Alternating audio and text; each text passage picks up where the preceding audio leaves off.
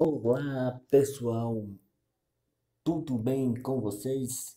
Mais um vídeo do canal e nesse vídeo galera a gente vai aprender como bloquear aquelas solicitações de amizades de pessoas desconhecidas no Facebook. Então galera, se já gostou do tema do vídeo de hoje, já deixa o seu like, se inscreve no canal se você não é inscrito e ativa o sininho das notificações. Assim, a cada vídeo novo postado aqui no canal, você será notificado. Então, galera, vamos para o vídeo.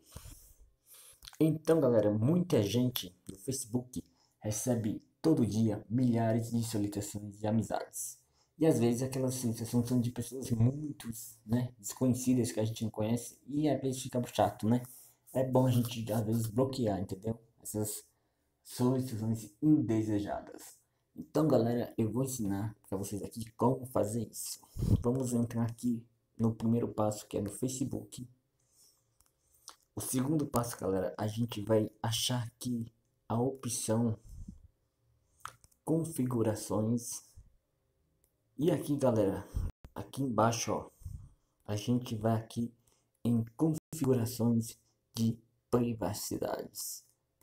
Clicando aqui, galera, tem a opção, ó, quem pode enviar solicitações de amizades. Clicando aqui tem a opção todos e amigos de amigos. Aí, galera, a gente vai deixar aqui amigos de amigos. Isso significa, galera, que apenas amigos em comum do seu Facebook pode enviar solicitação para você pessoas desconhecidas não vão te ver, apenas sensação de amigos, galera, entendeu? É só deixar essa opção ativada que apenas amigos em comuns seus amigos vai poder enviar solicitação de amizade, galera.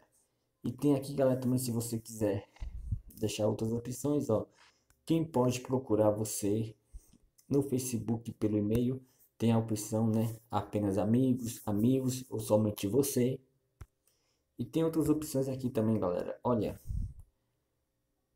Quem pode procurar você usando o número de telefone? Novamente, tem várias opções. Você pode colocar amigos de amigos, ou amigos, ou somente você. Então, galera, o vídeo de hoje foi esse. Se gostou, deixa o seu like, se inscreve no canal e ativa as notificações, galera, para não perder nenhum vídeo novo no canal. Então, galera, até o próximo vídeo.